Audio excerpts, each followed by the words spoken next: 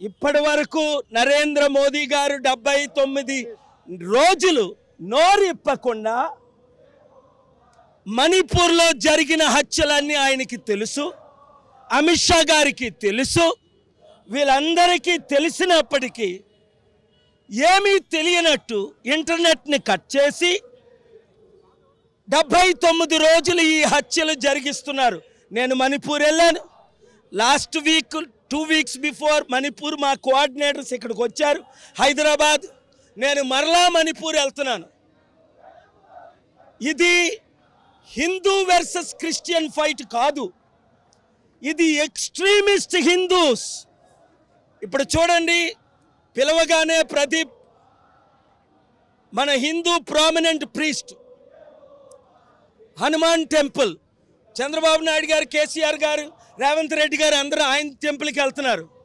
ఆయన మనతో నిలబడుతున్నారు. ఎందుకు అంటే ఈ హత్యలు ఈ మానభంగాలు మణిపూర్లో జరుగుతున్నాయి. ఇతర రాష్ట్రాల్లో జరుగుతున్నది కేవలం ఒక శాతం ఉన్న హిందూ ఆర్ఎస్ఎస్ బజరంగ్ దళ్ విశ్వ హిందూ పరిషత్ క్రైస్తవులారా మహమ్మదీలారా పీస్ లవింగ్ శాంతియుతంగా ఉన్న హిందువులారా నూటికి తొంభై తొమ్మిది మంది. మీరు గమనించండి ఈ బీజేపీ పార్టీని నరేంద్ర మోదీ గారిని అలాగే ఆర్ఎస్ఎస్ లెడ్ బీజేపీ రాజ్యాధికారాన్ని మనం భూస్థాపితం చేయాలి అంతేకాదు ఇప్పుడున్న బీజేపీ బి పార్టీలు. ఇక్కడ కేసీఆర్ గారు ఏంటి అక్కడ చంద్రబాబు నాయుడు జగన్ అంటూ వారు తొత్తులు అయిపోయారు ఈరోజు పవన్ కళ్యాణ్ అంటాడు ఇదిగోండి యాక్టర్ గారు ఫార్మర్ యాక్టర్ కదండి రాజా గారు ఇప్పుడే నేను కలిసా అది రియల్ హీరో ఈయన. పవన్ నీకు సిగ్గుందా? నరేంద్ర మోదీని ఎన్డీఏని బీజేపీని గెలిపించమంటున్నావు. ఒకరోజు అంటావు నేను నా భార్య క్రైస్తవురాలు నా కూతురు క్రైస్తవురాలు నేను గుడికి వెళ్ళానంటావు గుడికి వెళ్ళినోడు ఎవడైనా హత్యలకు మద్దతు ఇస్తాడా మందిరాలకు వెళ్ళి ఏ హిందువైనా హత్యలకు మద్దతిస్తాడా? చర్చిలకు వెళ్ళిన ఏ క్రైస్తవుడైనా బీజేపీకి కానీ బీజేపీ బీ పార్టీలు తొత్తులకి మద్దతు ఇస్తారా మేము దీన్ని తీవ్రంగా ఖండిస్తున్నాం.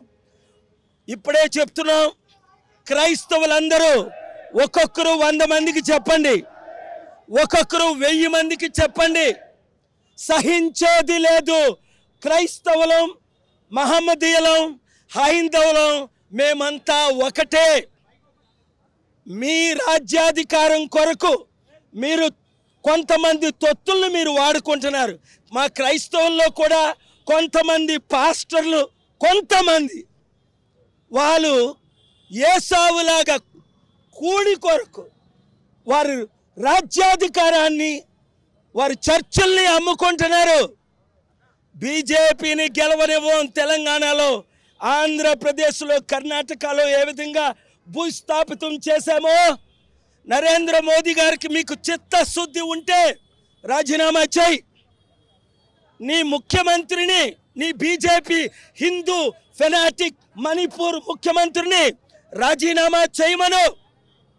లేదా బీజేపీ హఠావు मोदी को हटाओ देश को बचाओ ఆర్ఎస్ఎస్ को हटाओ देश को बचाओ సహించేది లేదు సిగ్గుందిరా మీకు మీకు సిగ్గుందా ఇంత ప్రాణాపాయాలు ఒక ఆడపిల్లలు మీకు కూతురు లేరా మీకు చెల్లెలు లేరా మీకు అక్కలు లేరా ఆ వెయ్యి మందిని కూడా అరెస్టు చేయాలి ఆ నలుగురిని తక్షణమే ఉరి తీయాలి నేను సుప్రీంకోర్టు చీఫ్ జస్టిస్ గారికి లెటర్ రాశా.